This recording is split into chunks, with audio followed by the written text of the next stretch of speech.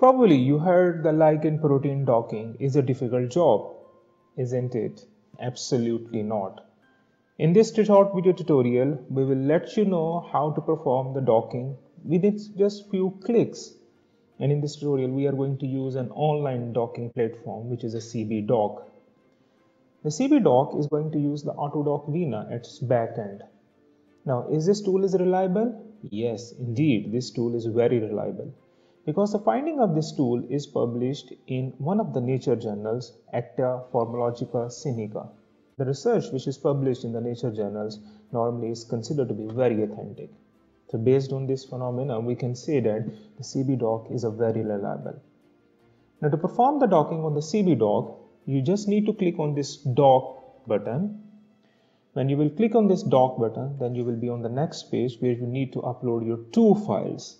The one file is a three-dimensional structure of the protein, while the second file is a ligand. So let's upload the three-dimensional structure of the protein by clicking on this browse button and moving to our folder where our three-dimensional file is located. Keep it into mind that the three-dimensional file of the protein is normally in the PDB form. We hope so that now you have a good idea how you can generate the PDB file by your own using the homology based algorithm or the threading algorithm or you can download the PDB file or the three-dimensional file of the protein by using the protein, protein data bank. Now the second file which you need to upload is a ligand file. The ligand file should also be in a 3D form. In the next tutorial, we will let you know that how you can design the ligand three-dimensional structure.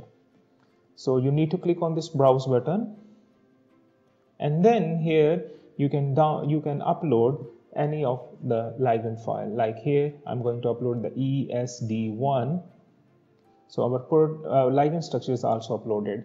In the more parameter file you can select that how many cavities you want where the docking will be performed. Now we will recommend it to you to go by default with the 5 when the ligand and the protein file will be uploaded, then you simply need to click on this submit button. As you can see it here, that you can see the docking progress, the 1%, person, the 2%, the 3%. Normally it's going to take a 1 to 2 minutes. When the docking will be completed, then you will be on this page. This page is the result page. Here on this result page, there will be one table like this and there is going to be the visual representation of the docking of your protein with the ligand. Let's analyze that what that table is letting you know. This table is letting you know the five best poses of the ligand through which it is bounded with the protein and their energies. You can see it here that there is a first there's a first pose having energy of minus 9.3 the second pose is going to have energy of minus 8.4 the third pose is going to have energy of minus 7.2 and so on. Which pose is better? Normally, the pose which is going to have a minimum energy is considered to be the good. But keep it in mind that this is not only the criteria to evaluate the docking data. You can see the binding of the ligand with the three-dimensional structure by clicking on this table. So when you will click on this table, you can see it here that this is your ligand you can see it here that this is the ligand and this is the place where that ligand is bounded with your three-dimensional structure. You can change the style of the protein by moving it here, style receptor. So when you will click on this drop down menu, you can change it from the cartoon to the backbone. Here you can see the backbone of the protein and the ligand which is bounded it here and you can also see the interactions of the ligand with the receptor, the amino acids which are involved with the binding of the ligand with the receptors. Similarly, you can also change the shape of your receptor from the from the ribbon to the space fill. So this is a space fill representation. Like the representation of the receptor, you can also change the representation of the ligand by clicking on this style ligand drop down button.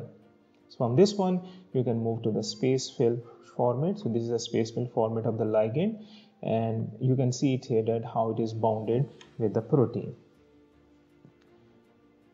Clicking this on this table will dis, uh, result the disappearance of the ligand, the first pose of the ligand. And when you will click on the second row of the table, so then this is a second pose uh, through which the ligand can potentially bind with the protein receptor. Now similarly when you will click on the third row, so this is going to be the third pose where potentially the ligand can bind. Now it's you who are actually going to evaluate that which pose is best for you. As I told you earlier, the one criteria to choose the best pose is a minimum energy. But there are the number of other parameters as well. For example, the amino acid residues which are involved in the ligand binding. The domain where the normally the ligand should bind. And all of that information is coming from the literature review.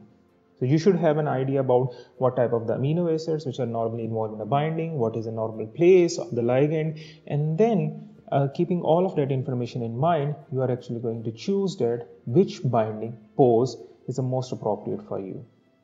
You can download your results by clicking here on this download all button. When you will click on this download all button, so your results will be downloaded in your system, which you will later on use to visualize your ligand bind ligand and the protein binding on your local your local machine using a PyMol and the LigPlot.